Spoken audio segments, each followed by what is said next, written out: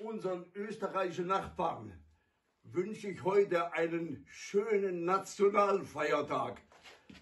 Meine Schülerin Katharina und euer Walter Scholz.